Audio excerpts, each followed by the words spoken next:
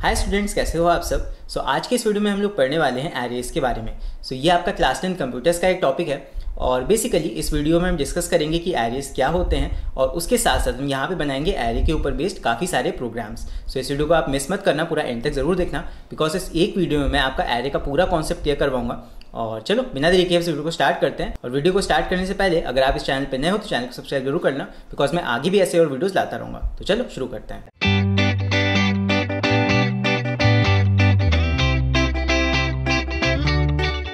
So what is an array अगर हम array की एक सिंपल सी डेफिनेशन की बात करें so array is basically a collection of similar types of values आप एक जैसी कोई भी वैल्यूज़ लो और उसका एक कलेक्शन बना लो, उसी को हम बोलते हैं एरे अब वैसे तो ये डेफिनेशन बहुत ही सिंपल है, लेकिन चलो इसको एक और तरीके से समझने की कोशिश करते हैं. तो उसके लिए यहाँ पे मैं एक ट्रेन को ड्रॉ कर लेता हूँ. आई होप आप सबने एक ट्रेन तो देखी होगी रियल लाइफ में. तो चलो उसको बनाते हैं यहाँ पे. सो फॉर एग्ज़ाम्पल हमारे सामने ये एक ट्रेन है.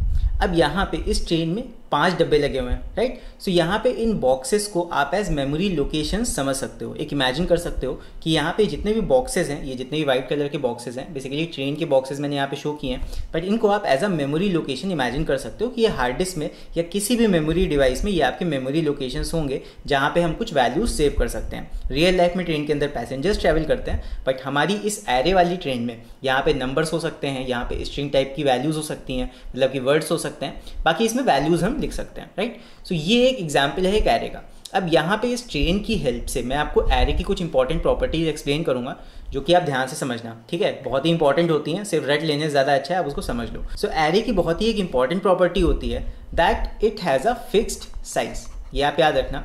अब सोच के देखो जब भी कोई ट्रेन चल रही होती है क्या चलती ट्रेन में आप यहाँ पे डब्बों की संख्या घटाया बढ़ा सकते हो? ऐसा तो नहीं हो सकता। अगर ट्रेन कहीं रुकेगी तब जाके आप उसके डब्बों को चेंज करोगे उसमें घटाने या बढ़ाने के लिए।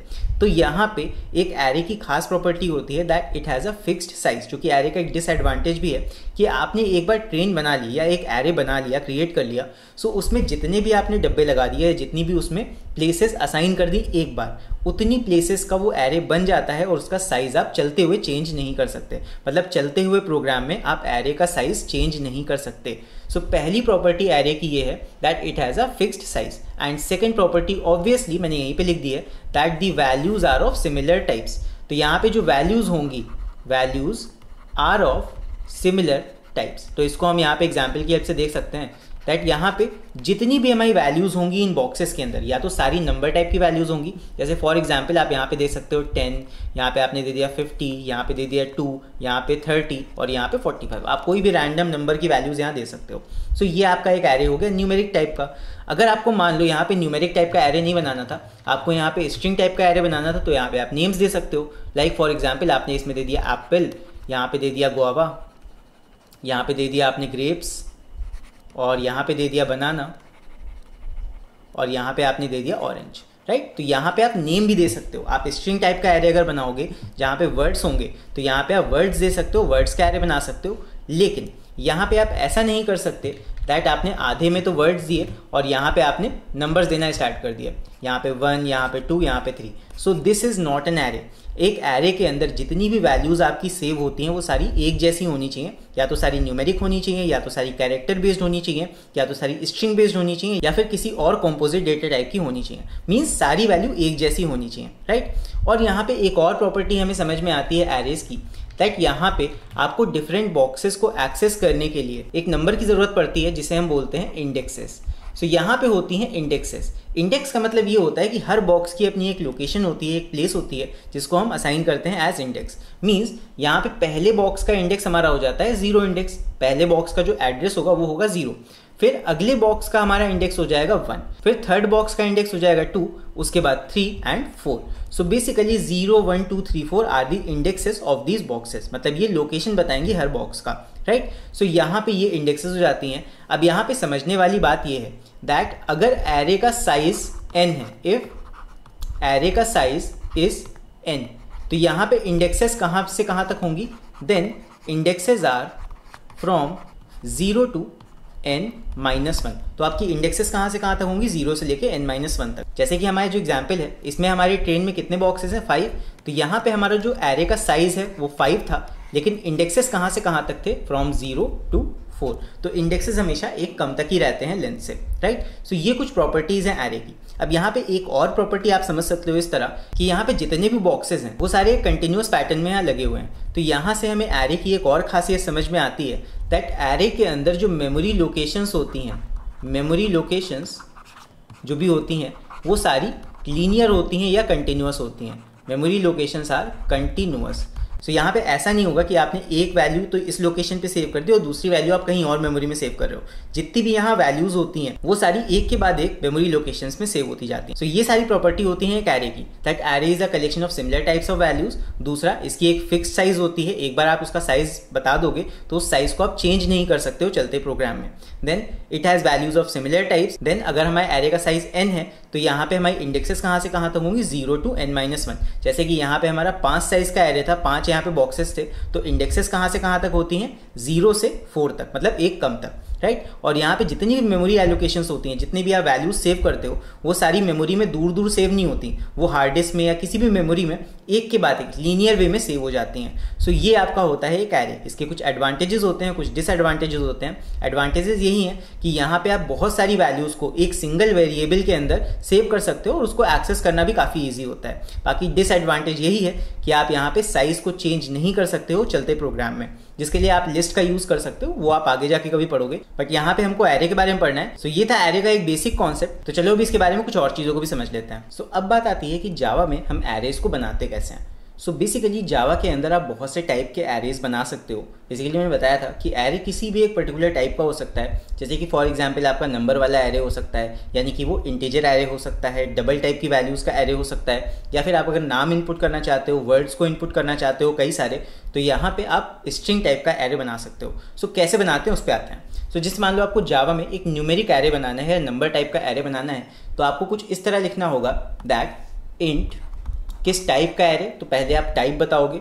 उसके बाद अपने एरे का आप कोई भी नाम जो लेना चाहते हो जैसे मान लो फॉर एग्ज़ाम्पल मैं अपने एरे का नाम ए रखना चाहता हूँ। सो so, यहाँ पे मैं रख दूँगा ए और उसके बाद अब यहाँ पे ये नॉर्मल वेरिएबल एरे वेरिएबल से अलग कैसे होता है यहाँ पे आपको लगाना होता है स्क्वायर ब्रैकेट अब ये स्क्वायर ब्रैकेट ये बता रहा है कि ये ए एक नॉर्मल वेरिएबल ना होके एक एरे का वेरिएबल बनने वाला है। सो so, यहाँ पे इज़ इक्वल टू हम लिखेंगे आगे न्यू न्यू क्या करता है? एरे को बनाने में हमारी हेल्प करता है न्यू कीवर्ड सो इसके आगे फिर से हम लिखेंगे इंट जिस टाइप का हम एरे बना रहे थे अगेन वो लिखेंगे.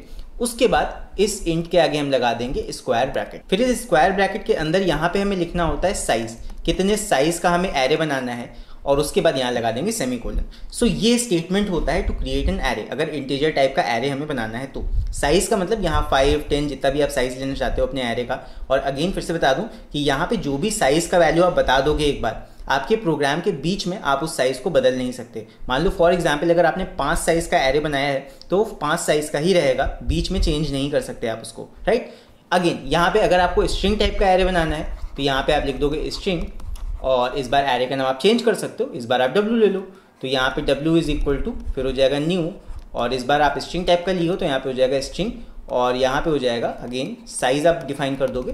तो ये स्टेटमेंट लेके आप एक स्ट्रिंग टाइप का एरे बना सकते हो। सो so, इस तरह हम एरेज को बनाते हैं। एक और तरीका भी होता है एक तो ये तरीका हो गया एक और मेथड होता है मेथड टू दूसरे मेथड में हम क्या करते हैं हम डायरेक्टली एरेज को बना सकते हैं। लाइक फॉर एग्ज़ाम्पल अगर आपको एक इंटीजर टाइप का एरे बनाना है तो आप लिख सकते हो int a is equal to आप डायरेक्ट वहाँ पे वैल्यूज़ को डिफाइन करके भी एरे बना सकते हो राइट आपको मान लो यूज़र से इनपुट नहीं कराना है आपको खुद का एरे बनाना है तो यहाँ पे आप दे सकते हो one two four five and six इस तरह कोई वैल्यूज़ आप दे सकते हो तो ये एक इंटीजर टाइप का एरे आप अपने आप से बना सकते हो खुद से वैल्यूज़ देके। सो so, दो तरीके होते हैं इसके ये वाला है मेथड वन और नीचे वाला है मेथड टू सो इन दोनों तरीकों में से किसी भी एक मेथड का यूज़ करके आप एरेस को बना सकते हो.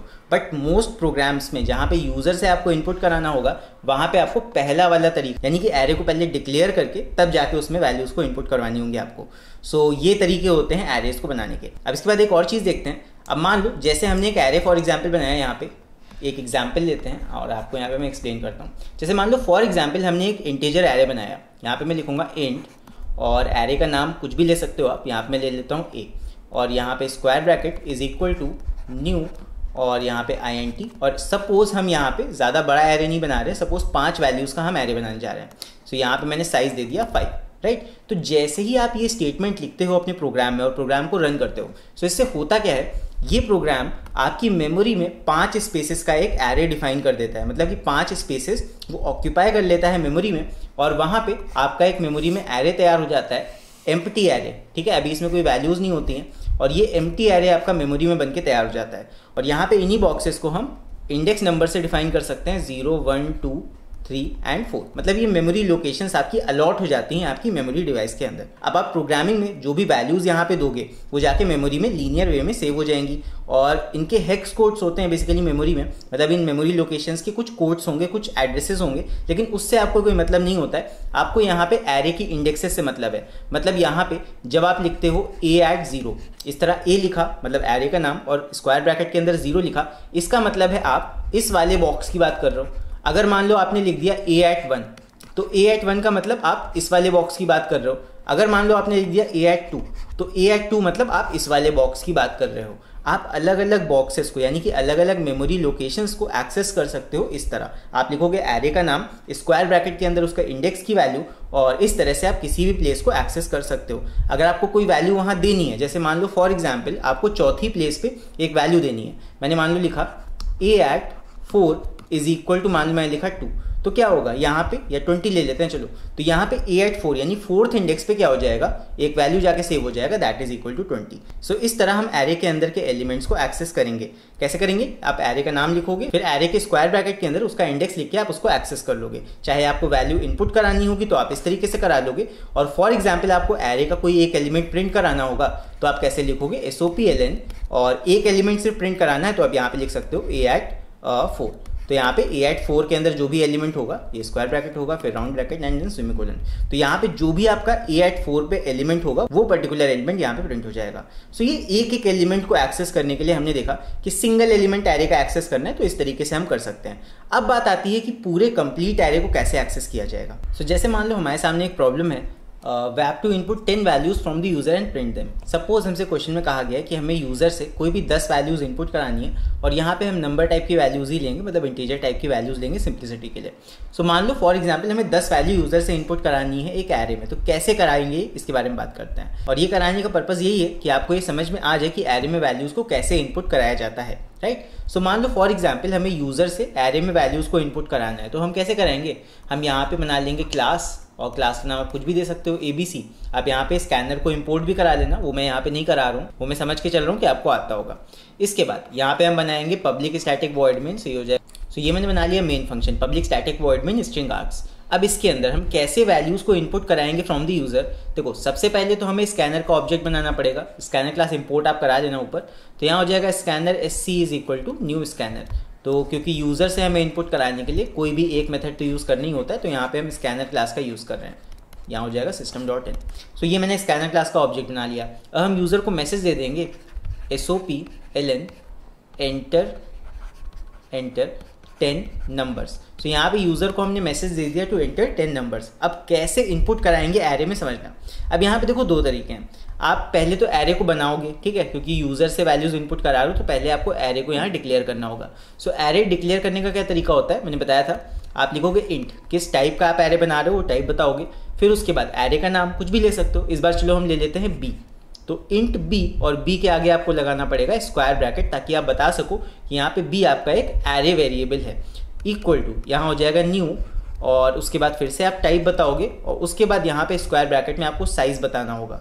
आपको टेन वैल्यूज़ लेनी थी तो यहाँ पे आप साइज़ दे सकते हो टेन राइट अब यहाँ पे बी वाले एरे में हमें वैल्यूज़ को इनपुट कराना है। कैसे इनपुट कराएँगे? भाई बी एक अकेला वेरिएबल तो है नहीं। बी के अंदर दस प्लेसेस हैं। पहले बी ज़ीरो होगा, फिर बी वन होगा बी टू होगा और इसी तरह बी ज़ीरो से लेके बी नाइन तक आपकी बॉक्सेस होंगी जहाँ पे आपको वैल्यूज़ इनपुट करानी है।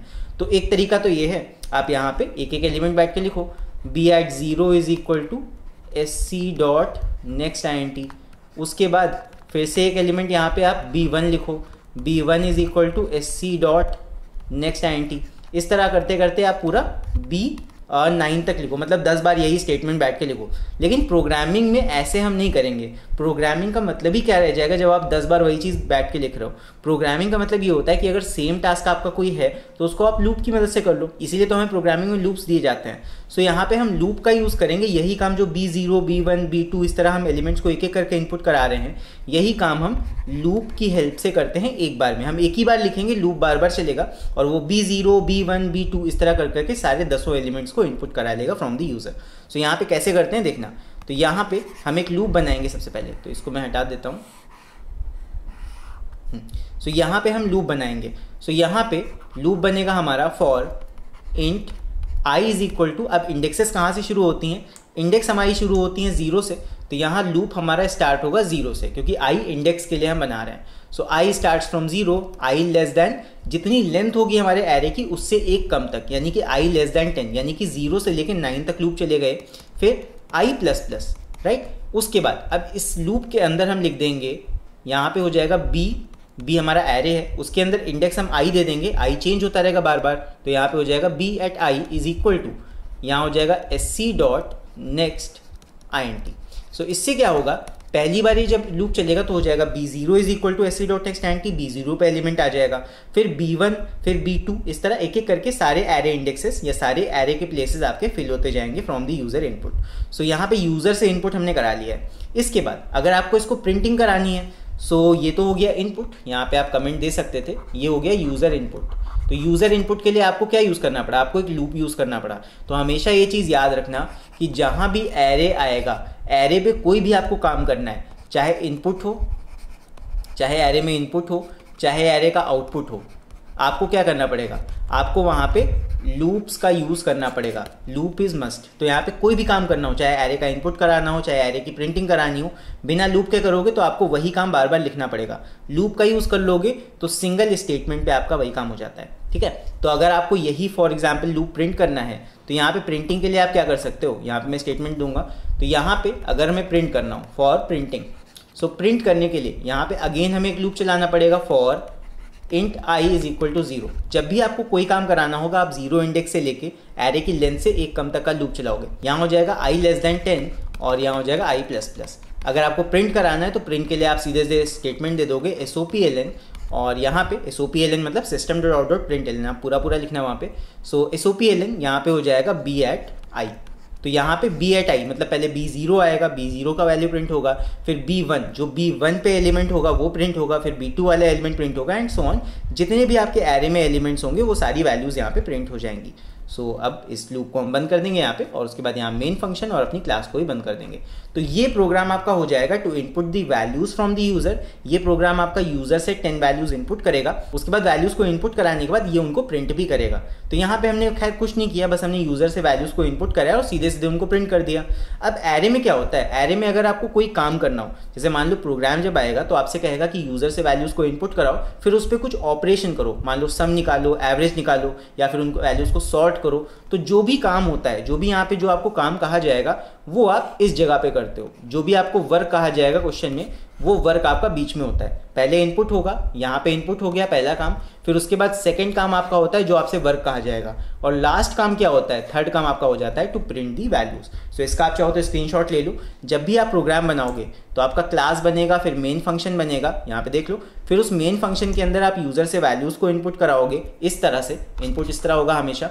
और उसके बाद यहाँ पे सेकंड काम आप वो काम करोगे जो आपसे क्वेश्चन में कहा जाएगा। आपको सम निकालना है एवरेज निकालना है मैक्सिमम मिनिमम फाइंड करना है। जो भी करना है, वो इस जगह आप काम करोगे। उसके बाद तीसरी चीज़ आ जाती है, उस एरे को आपको प्रिंट करना। सो so, लास्ट में आप उस एरे को प्रिंट कर दोगे इस तरीके से। तो आई होप आप लोग को ये सारी चीज़ें समझ में आ गई होंगी। तो चलो अभी हम लोग ब्लूजे ओपन करके एरे के ऊपर बेसिक प्रोग्राम बनाते हैं जल्दी से। सो so, अभी जो हम लोगों ने प्रोग्राम देखा था जहाँ पे हमने यूज़र से टेन वैल्यूज़ को इनपुट किया था और फिर उन वैल्यूज़ को प्रिंट भी किया था सो so, वो प्रोग्राम मैंने यहाँ पे टाइप करके रख लिया है। सो so, यहाँ पे आप देख सकते हो यहाँ पे इम्पोर्ट भी करा लिया है स्कैनर क्लास को। उसके बाद यहाँ क्लास बना दी सेम फिर मेन फ़ंक्शन है फिर सेम पूरा प्रोग्राम है।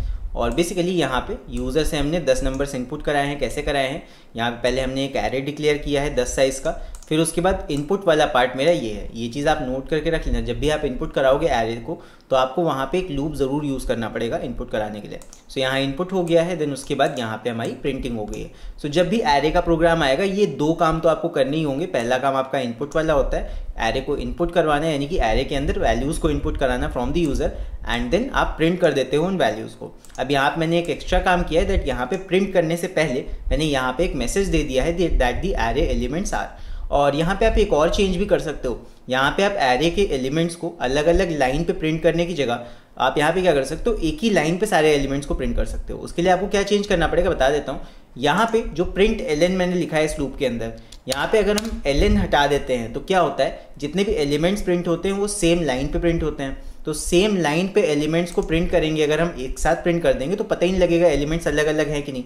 तो यहाँ पे हम लिख देंगे जब एलिमेंट प्रिंट होगा, एलिमेंट के बाद एक स्पेस भी प्रिंट हो जाएगा। या स्पेस क्या? आप यहाँ पे कॉमा प्रिंट कर सकते हो। यहाँ पे एरे का एलिमेंट प्रिंट होगा, फिर एक कॉमा प्रिंट होगा, फिर अगला एलिमेंट, फिर एक कॉमा।